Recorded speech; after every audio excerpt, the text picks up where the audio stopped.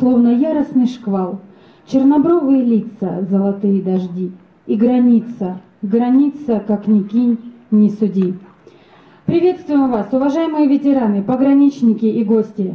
Наша программа посвящена памяти героя России Вячеславу Токареву и всем воинам-пограничникам во все времена защищавшим границы Родины.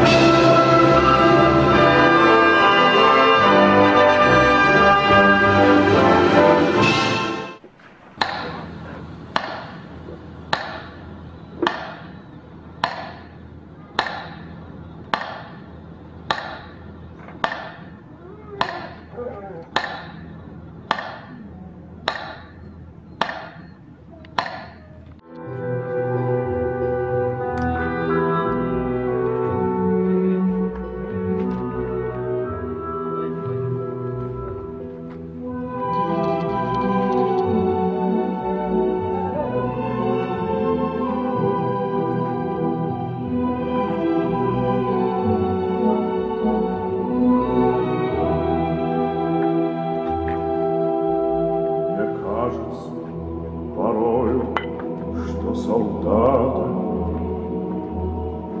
с кровавых не пришедшие полей.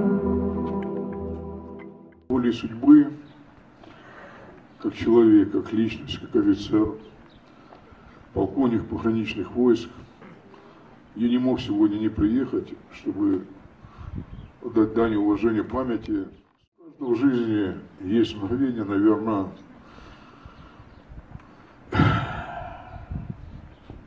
судьбоносные какие-то решения и так далее. Вот на тот момент лейтенант, начальник поста Турк, лейтенант Токарев, принял свое решение раз и навсегда. Он не думал, наверное, чтобы увековечить свою память и стать героем. Он просто выполнял приказ командира вот так, для того, чтобы и участок границы защитить, и людей сохранить. Действительно, вот знаете, а, то, что мы еще вначале расслушали, тяжело. Ведь я смотрю, возраст многих из вас, это тот возраст, который запомнил события, происходившие в стране в середине 90-х. Страну рвали на части, страну рвали изнутри, страну пытались порвать снаружи.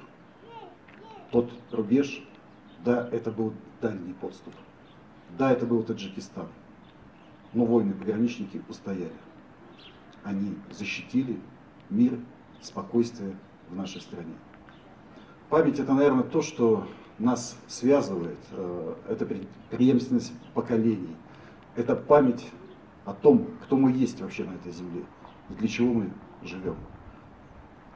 25 лет, и сегодня у каждого из нас в памяти подвиг лейтенанта Токарева. Подвиг. Казалось бы, раньше мы это видели фильмах, читали в книгах, далекие события становления пограничных войск, события Великой Отечественной. Но оказывается, это все рядом. Это здесь. Сегодня вы рубеж обороны. Сегодня такие же парни, как и вы, принимают решение отдать жизнь ради сохранения жизни военнослужащих и защиты нашей Родины. офицер-пограничник Слава Токарев сделал то, что должен был сделать. Он выполнил приказ, остался верен присяге, воинскому долгу. Он своей смертью, своим подвигом сохранил много жизней. В тот, момент, в тот момент, я думаю, он долго не раздумывал, потому что он был воспитан в порядочной, правильной семье. Он гордился тем, что он служит, носит погоны.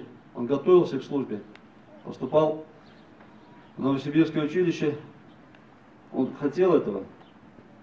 Закончив училище, пришел служить в пограничные войска. Оказался на самом переднем рубеже, на пограничной заставе. Здесь он ходил чуть больше 25 лет назад. Отсюда уехал в боевую командировку в Таджикистан.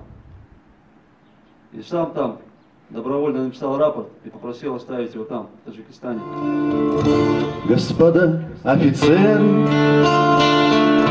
по натянутым нервам и аккордами веры эту песню пою тем, кто бросив тебя очень ждать. Долго-долго и верно-верно И ночами могу не спать. Год и два и всю жизнь, наверно. У свисточки календаря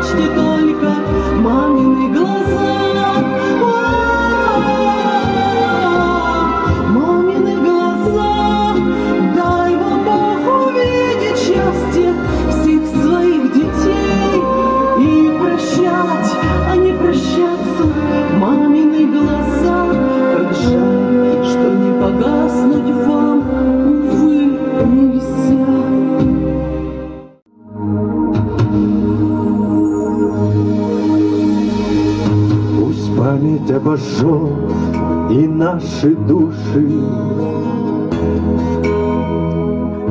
А тех, кого сегодня с нами нет. Осенний день разгонит злые тучи И спустится на землю добрый свет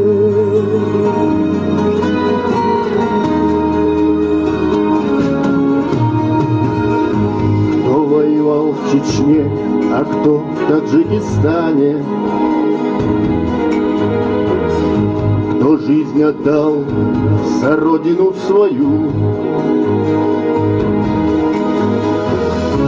Мы каждого сегодня вспоминаем. А вас я эту песню вам пою. Мы каждого сегодня вспоминаем вас эту песню вам пою. На экранах мелькнут ваши светлые лица Вспомним молча о вас, будем Богу молиться Чтобы мир на земле не разрушила стерва война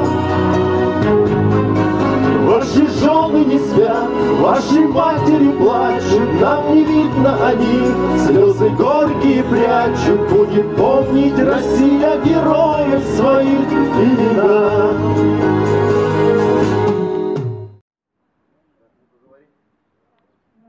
Мы сегодня посетили заставу Бийскую имени Героя России Вячеслава Токарева, э, чтобы отметить э, героический подвиг, который был совершен Вячеславом Токаревым 25 лет назад на заставе. Сегодня проходили памятные мероприятия на заставе, э, посвященные 25-летию э, событий на таджикской границе. Э, В ходе боевых столкновений Герой Советского Союза Вячеслав Владимирович Токарев ценой своей жизни, по сути дела, э, сохранил жизнь, здоровье военнослужащих, веренных ему. И самое главное, они отстояли, да, на дальних подступах, но рубежи нашей Родины. Застава Бийская на сегодняшний день, как и любая другая пограничная застава, занимается защитой охраны государственной границы, экономических и незаконных интересов Российской Федерации с Монголией. Часто границы довольно-таки интересные. Граница у нас горная, горно-степная. Проходимый участок всего 12 километров, все остальное горы, перепады высот где-то от 3 до 3,5 тысяч метров. В связи с чем своя специфика охраны. Границу в основном охраняем удаленными нарядами. Наряды ходят на, в, конном строю, на автомобилях и реже в пешем, в пешем порядке. Застава живет, живая, застава дизельная, авто, автономная. Сами себя, грубо говоря, обеспечиваем электроэнергией, водой и тому подобное. Но вместе с тем не отчаиваемся. Застава именная, как говорится, именная значит лучше. Поэтому всегда чтим традиции, сохраняем, приумножаем, постоянно работаем, очень тесно взаимодействуем с Марией Михайловной Токовой, с Владимиром Петровичем. Ничего не знают, а мы здесь охраняем родные рубежи. Нас Родина на прочность проверяет. Погранзастава, погранзастава, Кому звезда, кому покой, кому-то слава.